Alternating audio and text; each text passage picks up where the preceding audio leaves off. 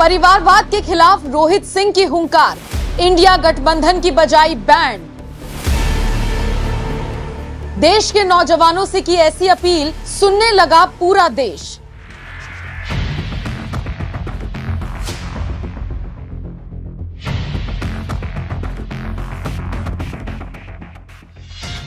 नमस्कार, आप देख रहे हैं एनएमएफ न्यूज़, आपके साथ मैं हूँ नम्रता चौधरी। देश में लोकसभा चुनावों का महापर्व चल रहा है। चार जून को नतीजे आएँगे जो ये तय करेंगे कि देश का प्रधानमंत्री कौन होगा। अब चूँकि चुनावों के नतीजे आने में कुछ ही वक्त बचा है, ऐसे में रुझान आने शुरू हो गए हैं, जो एनडीए के पक्ष में जाते हुए दिख रहे हैं।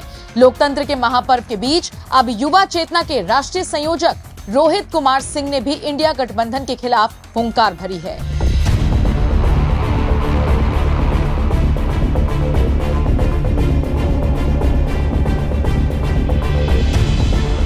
युवा चेतना के राष्ट्रीय संयोजक रोहित कुमार सिंह अक्सर देश के कोने कोने में जाकर नौजवानों के बीच अलग जगा रही है।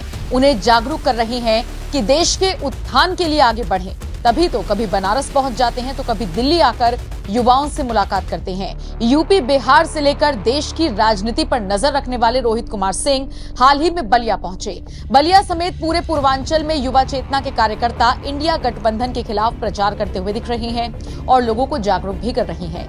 बलिया से ही रोहित कुमार सिंह की कुछ तस्वीरें सामने आई है, जिसमें वो सिलाई मशीन चलाते हुए भी दिखाई दिए। तो कभी लोगों के बीच जाकर उनका हाल चाल लेते हुए दिखाई दिए।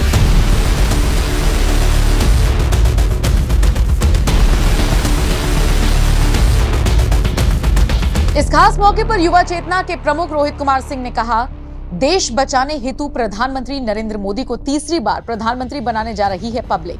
कांग्रेस सहित इंडी गठबंधन के नेताओं को सिर्फ़ अपने परिवार से मतलब है।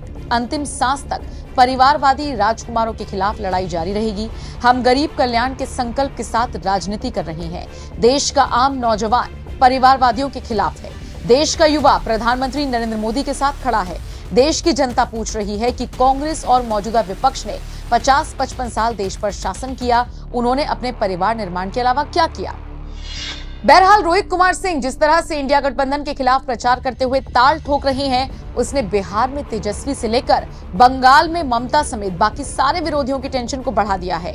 अब देखना होगा चार जून को इसका कितना असर होता है। आप रोहित सिंह से जुड़ी इस खबर को लेकर क्या राय रखते हैं? उनके विचारों से आप कितने सहमत हैं? कमेंट करके अपनी राय हमें ज़रूर